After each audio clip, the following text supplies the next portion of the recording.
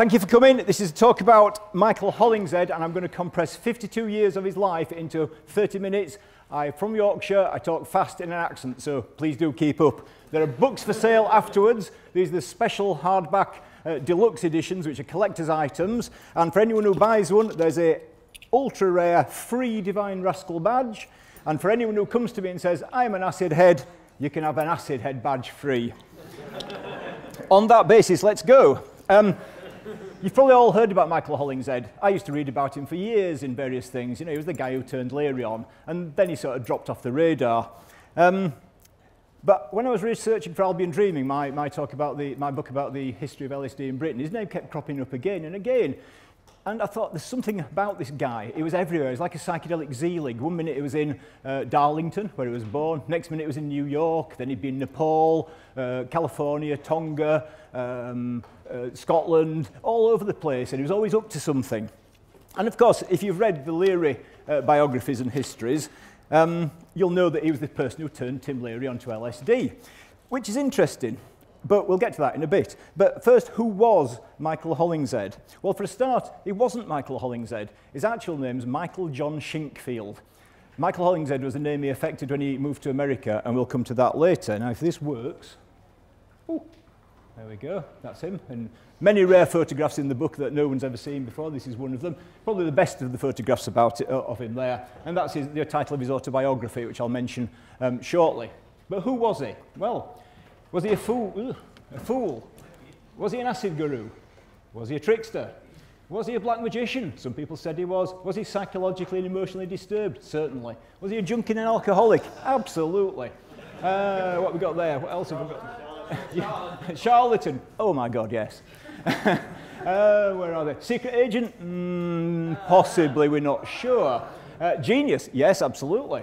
Um, deeply spiritual? He thought he was.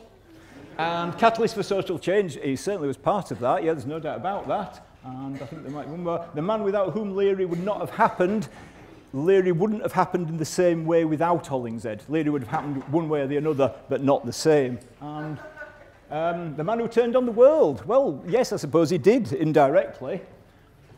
Selfish sociopath, oh yes, very much so. Charismatic, absolutely. Criminal, God, yes. I think Oh, there's another one. Police informer. Absolutely. Um, so there's a lot of um, what's going on there about him. So where did he come from? Well, for a guy who turned Tim Leary on, who then turned the world, world on, it's a bit weird, isn't it, that Michael Hollingshead, we'll call him Hollingshead even though he's Shinkfield, was born in 1931 in Darlington in the north of the east of England, which at that time was a grubby little mining town, famous for railways and coal. Um, his father was a colliery um, clerk, if you like, and he had uh, a nice traditional upbringing at first, but as he grew up a little bit, he suddenly worked out that, as was the style of many men in uh, those days, his father was a serious alcoholic and a wife beater. And um, Michael didn't particularly like that. So as he grew up, he sort of began to notice his father and, and his mother having lots of uh, problems all the time. And what he did, he came home from school one day found his, his father beating his, his mother up. This was when he was about, I think, 10 or 11 or something like that. And of course, because he was growing up to be a man and he didn't want to see his mother hurt, he jumped in and tried to stop it happening. And of course, as is the way, unfortunately, in many abusive relationships, the mother sided with the father. Hollingshead was flung out of the way and he was left, he didn't know what had happened. He said his quote to his daughter Vanessa later in life was, at that moment, I threw away the key, meaning I, I wanted nothing more to do with my parents. A couple of years later, when he was 14, he did something. Now, nobody knows what this thing was, but it was bad enough for him to be sent away 300 miles to Red Hill School, um, uh, not far from London. Now, at that time, in, in the um, uh, mid-40s it was at that time, this was a school where people who had serious psychological and emotional problems were sent to. Uh, they had 40 places a year available out of the many thousands that were referred to them. So whatever Hollingshead did was bad enough to get him sent to Red Hill. It was run by a colleague of um, uh, Freud's daughter, and it was run on psychoanalytical principles. Uh, it's the sort of place where you, you called the teacher by the first name. There were no rules. It was all done by uh, daily meeting and everything. And he was supposed to be cured of whatever he was. Now, the files for Redhill School um, uh, exist, but uh, I'm not allowed access to Hollingshead's files until, I don't know, like 100 years from whenever they were put away, uh, which is rather sad. Um, and you can see, if I've got my pointing device, the picture there. How does that work? That's Hollingshead there. Uh, second trolley from the left there in his, in his blazer with his hand round a, a youth in front of him, which is quite sort of interesting. Um, he did very well at that school. He, he developed a tal talent for mimicry. Um, it was up to all sorts of shenanigans. He got published extensively in the school uh, newsletter, and the, the school used to have a, um, an annual art exhibition in uh, the Cooling Gallery in London every year, and he had uh, artworks depicted there, long since lost, but the two he had uh, depicted one year was, uh, were called Sorrow and Dream, and that's the title of my first chapter because his whole life is a mixture of sorrow and dream. After he left um, Redhill School, like all young men in those days, he had to do two years national service. And this is a picture of him at some RAF West Kirby on the Wirral, which was the place where people went before they were dispatched off to whatever speciality they were going to train in. Now, again, national service records, can't, can't track them down. I've certainly tried, but, um, but they don't appear to exist. So I've no idea what he actually did in national service. But the chances are he learnt Swedish and Norwegian because in the early 50s, after a short spell in London, he, um, he suddenly appeared in um, Sweden and he married a Swedish woman and they had a son. And at that time, he was working for the University of Copenhagen and he was writing and broadcasting for Swedish media, doing a lot of programs on Swedish radio about life in London, sort of for a, a Brit's view of tourism for, for Swedish people. He had lots going on. Heavy drinker. It was also to in, to in and fro in between um, Copenhagen and London. And at, at some point during this uh, time, he met some very key people who were to be sort of influential for the rest of his life.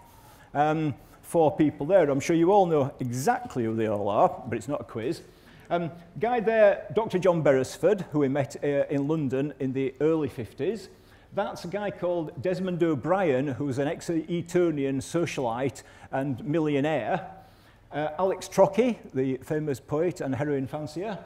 and Brian Barrett, who sort of spanned all scenes from the Beats right through to the hippies. And he met all those at varying times in the, um, in the late 50s. Now, many adventures involving uh, heroin, to which he became addicted at that time, um, uh, a lot of dope smoking, a lot of alcoholism. Uh, one of his specialities was him and Trocky would go to the posh London clubs and chat up the Debs, uh, fuck them, and then screw them for all the money that could get out of them. So, not a particularly nice man.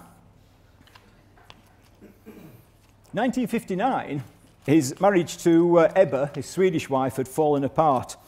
And he thought, I know, I'll go to America because it was just like the very, very, very start of the British invasion.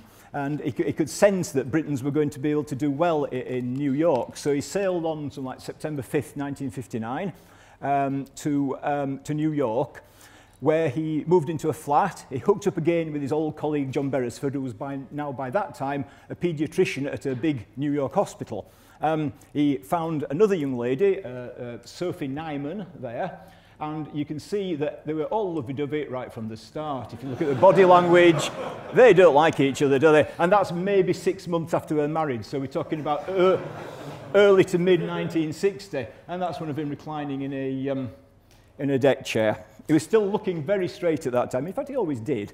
Um, anyway, when he, when he sort of contacted Dr. John Beresford again, he found out that John had taken an interest in drugs, you see. And there was a, a store on, uh, in Greenwich Village, can't remember its name, where you could go buy, um, uh, you know, San Pedro, peyote, uh, you could buy all manner of chemicals and herbs and everything. So, of a weekend, Hollingshead and um, and Dr. John Beresford were getting wasted and having parties at an office that Beresford rented, unbeknownst to his wife. Uh, young ladies were involved, you know, the usual sort of thing when, when, when drugs happen. Um, and at, at one point, they started reading about LSD, which was just sort of being talked about. And um, Michael said to John Beresford, I think we really should be trying this sort of drug. How can we get some? So Hollingshead phoned, allegedly phoned Aldous Huxley up. This is what he writes in his autobiography, I have never found any record of Huxley saying he ever spoke to Hollingshead, so we don't know that's true. And with everything in Hollingshead's life, you've got to take it with a pinch of salt because he was a liar to serve his own ends. He may have spoken to Huxley, it's possible, but I'm not certain. Huxley said, uh, well, you know, you need to get hold of some, some LSD, and when you've done so, uh, the man you need to speak to is a guy called Tim Leary. So, now we get to the sort of er story of psychedelic history, which you'll read about, which always says that Tim Leary got the um, LSD because Michael Hollingshead brought it to him. And Hollingshead in his book says, I ordered the LSD from Sandoz, they delivered a gram to me, and I took it to Leary. Well, yes and no. What actually happened, I think, based on interviews and information I've got from the Beresford family, is that, yes, um, Hollingshead persuaded Beresford to write to Sandoz to buy a gram, which is fairly easy in those days, and it came labelled lot H00247 or something. Now, Hollingshead says he took that acid with Beresford, had an amazingly bonkers psychedelic experience, which he, he relates in his autobiography, and thought, what the fuck are we going to do with this? So they eventually dosed it all down, according to Hollingshead, into something like 5,000 200 gram doses, uh, 200 microgram doses, and it was all in the legendary mayonnaise jar, which you read about, about Hollingshead trotting around to Leary with his mayonnaise jar. Now, there's a problem there for a start, because so I, I thought there was something odd about that for years, and then when I was writing the book, I thought, I know, I'll get your standard American mayonnaise jar, I'll get some icing sugar, I'll get put a gram of milk powder in, mix it all up, and I'll spoon it into a jar and see if you get 5,000 doses in there. Do you fuck? You're lucky to get four or 500 doses in there. So the whole foundation story is a lie. What happened to the rest of those doses? What form did Hollingshead have them in? And did he indeed have the whole gram? No, he didn't. Beresford retained half of the original magic gram, which, and I'll come into proof of that later. So anyway, then uh, Hollingshead thought, right, I'm going to get in touch with Leary. And the stories in Leary's accounts and in Hollingshead's own account, own account are quite sort of straightforward. He went to, to where uh, Leary was staying, badgered him for a bit, and then uh, Leary took him in. But it was more than that. Hollingshead actually said, threatened by letter to Leary after the first meeting where Leary was very dismissive of him, that he was going to commit suicide if Leary didn't take him seriously. Now, Leary was nice bloke, and he said to, I think it was Ralph Metzner who, who was with him at the time, I can't let this, this poor Englishman who's going through all these traumas and troubles commit suicide. He must come and live with us. So within the space of a couple of weeks of the meeting, Hollingshead was installed in the Leary household, um, turning people on right, left and centre. Um, but of course, Leary didn't want to take acid. He was heavily into his psilocybin research at that time, and for him, psilocybin was the be-all and end-all of psychedelic experiences. Um, and um, Hollingshead was trying to persuade him and say, no, you've got to take this. And Larry said, no, you, no, you take some psilocybin, you know, it'll blow your mind. Hollingshead took about four times the dose of what Leary was taking and said, well, yeah, it's nice, but you really need to try some acid. Leary wasn't having it. The classic story then is um, one night uh, uh, Maynard Ferguson, jazz trumpeter, who was a friend of uh, Leary's, was staying there at the weekend after a gig and um, Maynard and Fleur were both sort of potheads and, you know, they like to get high. And uh, Hollingshead said, do you fancy a spoonful of, uh, of acid? So they said, well, yeah, sure. So he trotted upstairs, came back with his jar, gave them a spoonful. They all had a spoonful. Leary's doing some exam notes or something. And they sat back. And about, I don't know, half an hour, 45 minutes in it, Flo, Flo Ferguson sits up and said, wow, you've just got to try this, Tim. This is, this is amazing. So Leary thought, I've got to. So again, dosed up by Hollingshead, and that you read all the accounts of his first experience, blew Leary's mind, smeared it across the multiverse. And for weeks afterwards, he was a, he adopted Hollingshead as a guru. And Metzner and um, Richard Alpert uh, were very, very worried about the influence that, that Hollingshead um, actually had on him. Uh, Hollingshead then was, was paid by Leary as a housekeeper and also to help him with the research. And um, he was involved in the Marsh Chapel uh, psilocybin experiments and so on and so forth. Um, and I'm glossing over everything so much, I'll be lucky if I get to the end of it at, at this speed, because the book is just packed with stuff you've never even heard of.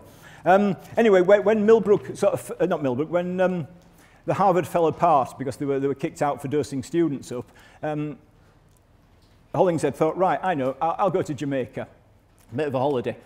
Flew to Jamaica, but he used Leary's name uh, to falsify a cheque And that was the start of the many, many rip-offs that, that Hollingshead did with Leary and many other people. Uh, so Leary and him fell out at that point, and Leary and Hollingshead have a love-hate relationship all through Hollingshead's life. They, they sort of needed each other in a way, but at the same time, Leary was a bit uncertain about Tim and, uh, sorry, not Leary, was, Leary was uncertain about Hollingshead, and Hollingshead desperately wanted to be a Tim Leary. He saw himself as a guru, uh, and this thread runs throughout his entire life.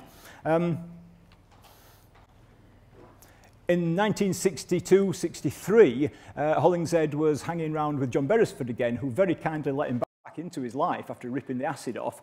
And um, Beresford started the Agora Trust in New York, which Hollingshead completely ruined, as you'll read in the book, uh, to the point where he had the um, phone tapped and the police were listening in on to conversations, which Beresford knew about, but because he was a very Pacific, uh, yeah, Pacific Buddhist type of guy, was just laid back about it and didn't object. Um, so And that was completely trashed. But one interesting thing that I did dig up was this, which is John Beresford's 1963, you can just see the 63 at the top, calendar book. Um, and in it, on Monday the 14th of, of whatever month it was, he writes there, he's given somebody 50 somethings of H0047, 0047. That is the number of the magic gram. And that to me proves what Beresford's family have told me, that Beresford did retain a considerable portion of the original magic gram, thus giving the lie to, to Hollingshead's um, story about it. I mean, this is drug geek stuff, isn't it, really? But to me, it's absolutely fascinating, tinkering with the, mach the machinery of what went on and how and who said what about it. Um, the next big phase in his life was, um, was Millbrook. Um, when Hollingshead heard that Leary had got set up at Millbrook and they were having a wild old time there, he had to be there. So um, August 64, six, yeah, August 64, he moved into Millbrook and he... Um, basically, he, he just hung out there and he was the person that a lot of people uh, ended up tripping with if Leary wasn't there. And he would do bonkers things like, um, you know, where they're all in the middle of a massively heavy trip and they're all on a different planet somewhere, he'd appear at the window in a kilt bouncing up and down on a trampoline with a, violent, a violet light behind him. Or, or he'd tell a, a group of people that he could show them the secret of the universe, but only if they got really high and followed his instructions. And they would. And then, of like two o'clock in the morning, he leads them into the subterranean passages underground. So they had to crawl through the dark and it was lit by a candle and they're all going, wow, what's going to happen? And they get to the end of a, of a, um, of a dead-end corridor and Hollingshead reveals a mirror, which they either got it or they didn't. um, and this sort of thing went on when, when Leary went on his honeymoon to, to India with, with uh, Nena, his, his bride, the model. Um, Hollingshead and um, met, uh, sorry, said and, and Alpert and a few other people holed up in the bowling alley there and basically just were taking acid day after day after day, night. They just weren't coming down. They were seeing how high they could get, for how long, and, and what would happen.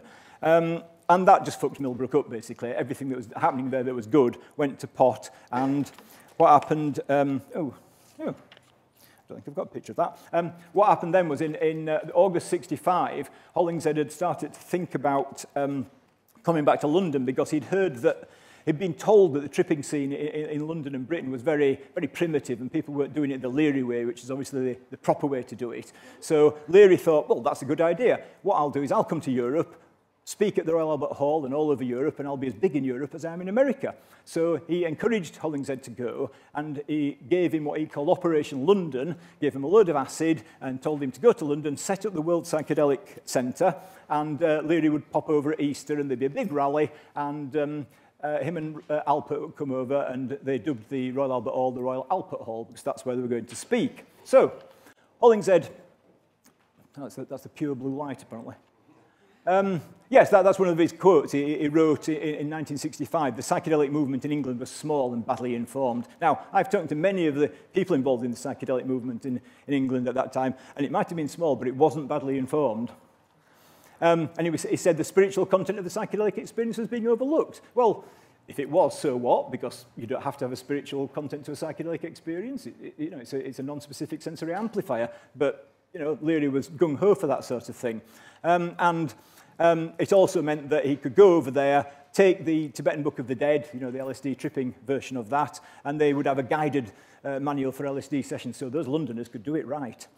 Um, so anyway, came over to London, and Desmond O'Brien, who's the um, millionaire I talked about earlier, funded and financed the World Psychedelic Centre in Pont Street, um, in, in London. Uh, very lavish flat. It was all decked out with, with um, tripping visuals, lovely carpets, uh, blah, blah, blah. And uh, uh, Hollingshead set about trying to take over London and, and imprint the leery way of tripping on, um, on him. Um, oh, that's right. But before he went, they had a meeting about it, and Leary said, when Dick Alpert and I stood on the dock in New York waving goodbye, I said to Dick, well, that writes off the psychedelic revolution in England for at least 10 years.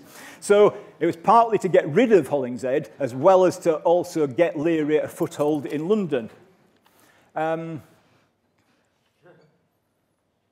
but when Hollingshead got to London, he was, quote, very impressed by the happy scene he found there. Lots of young people on acid, eating sugar with no one putting over a big mystery scene. That quote's from Joe Mellen, who wrote, wrote Borehole. Uh, Joe, big acid head in the mid-60s in, in London. And, you know, they were just having fun. But they were using sugar to avoid uh, having bad trips, basically. And this was a, was a theory developed by... Um, um, Bart Huges um, eh, from, from the continent, who said that basically you need sugar in your system when you're tripping, otherwise you're going to crash. Whereas the Leary and the sort of spiritual approach was, oh, you need to fast on blah, blah, blah for X number of days beforehand and your body needs to be pure. Well, maybe it does, but all that's going to happen is you're going to spend the whole trip doing like that because you've got nothing in your system.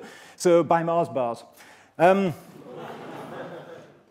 and the way that, um, that Joey described uh, Hollingshead's way of tripping was always in a darkened room smelling incense with a commentary by the guru. That was the way the Americans had devised to keep people on, on sugar lax in control. It didn't really work.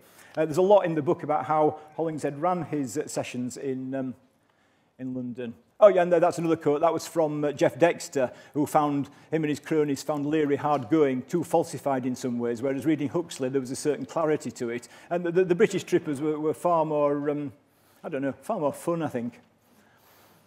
This uh, may have actually been Hollingshead's flat. I was told it was, I'm not too sure, but basically this was a 1966 flat in London, equipped with a light show and lots of stunned people going like that. Um, that's what they did. Um, anyway, this, this all went on, and, and it, originally it was sending um, proclamations out about, you know, acid philosophy and how you should do it and encouraging people to do this, that and the other. But at the same time, it was developing a massive methadone habit because it was um, tripping every night and it was tripping using acid and methadone to give the, um, to give the acid some um, motive power rather than just getting lost in the moment. And then because he was up all night, in the day, he was having to take heroin to go to sleep to get some rest. So he was spiraling out of control.